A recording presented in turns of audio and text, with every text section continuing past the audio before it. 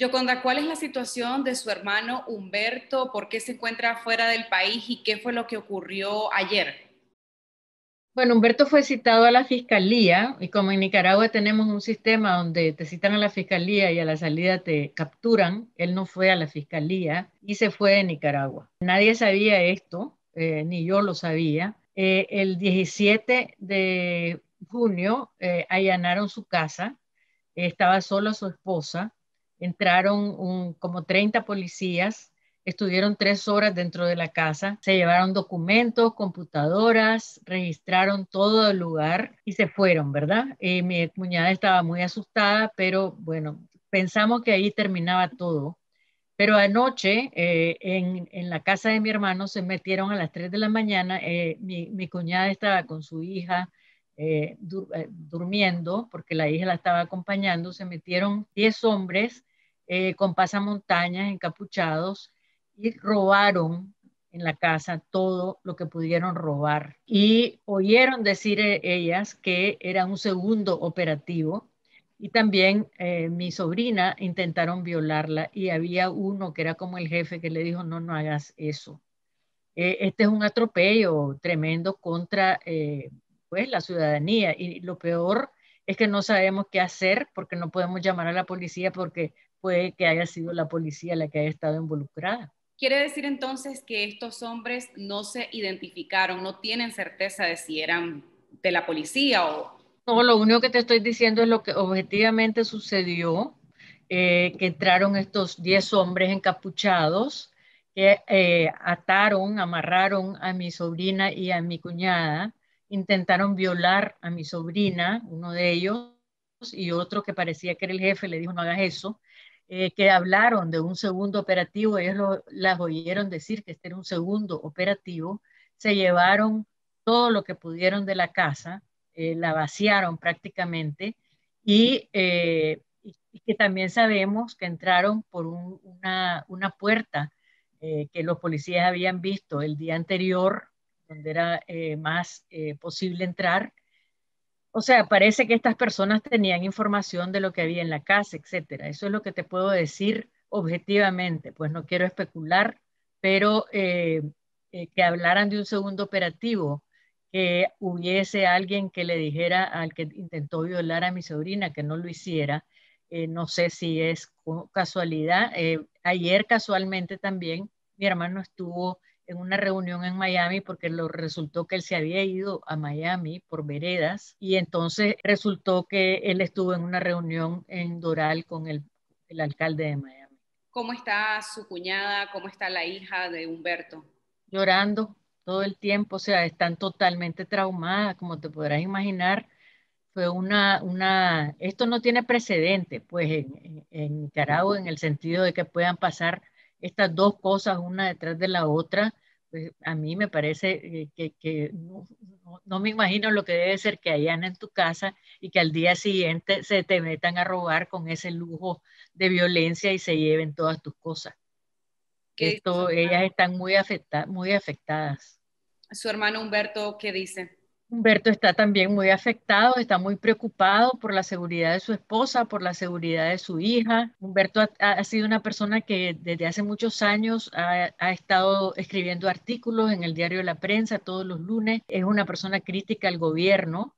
Era de la directiva de Funides, pero solo llegaba a las reuniones de directiva.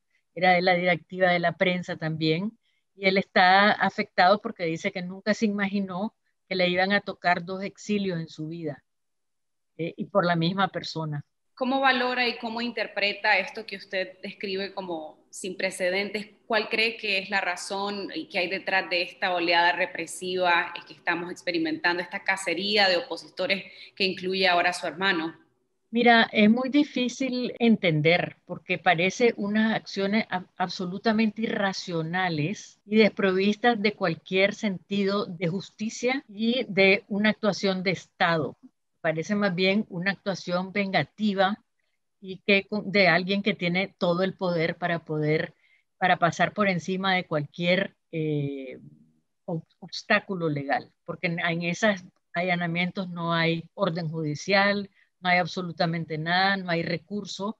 Por ejemplo, este robo ¿qué haces? O sea, ya no tenés a la policía a quien ir a decirles que se metieron a robar porque la policía ya no existe como un cuerpo que protege a la ciudadanía. Por otro lado, lo que interpreto yo es que estamos en un régimen de terror, o sea, que nos, tienen, nos quieren aterrorizar, nos quieren eh, congelar, y todo esto tiene que ver con las elecciones. ¿Cómo es posible, Cindy, que eh, haya todas las personas que echaron presas en el fin de semana y que no hayan enseñado a ninguna? O sea, ya hay personas que tienen más de una semana, los empleados de la Fundación Violeta Chamorro ya tienen más de 15 días de estar prisioneros y nadie los ha visto. No hay un recurso de exhibición que, que atiendan. Entonces ya esto se pasó todas las rayas rojas que había y eh, estamos en un, en un absoluto estado de indefensión en Nicaragua.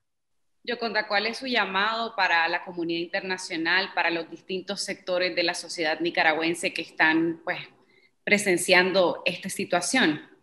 Mi llamado para la comunidad internacional es que, bueno, que hagan lo que están haciendo. Yo creo que la comunidad internacional también no es ilimitada su, su posibilidad de ayudarnos. Creo que tienen que seguir hablando de lo que está pasando, presionando al gobierno de Daniel Ortega.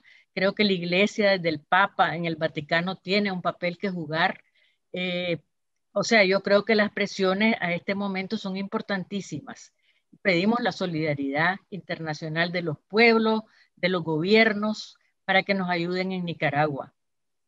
Y a, la gente de Nicaragua le digo, no hay que rendirse, no hay que sentirse derrotados. A mí me parece que estas ya son acciones de personas que están absolutamente aterrorizadas del pueblo, de la misma gente, y están tratando de aterrorizarnos más. Pero no nos podemos sentir derrotados. Esto parece ya, a mí me recuerda un poco el fin del régimen somocista, cuando ya se sentían atrapados y empezaron a dar bandazos y a hacer estos actos como el asesinato eh, del camarógrafo de la ABC, eh, que fue lo que, como quien dice, lo que marcó el fin, ¿no?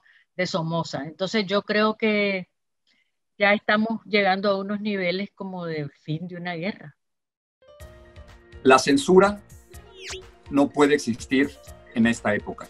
La censura es una estupidez de los autoritarios para tratar de controlarlos, pero se les olvida que ellos quizás pueden controlar la televisión y la radio y la prensa escrita, pero jamás pueden controlar esto que tenemos ustedes y yo. Estas redes sociales no se pueden censurar. No importa lo que hagan, ustedes y yo podemos decir lo que quieran. Así que quiero invitarlos a que se suscriban al canal de YouTube de Confidencial donde les dicen la verdad, donde saben realmente lo que está ocurriendo, porque la censura en esta época sencillamente no se puede aceptar.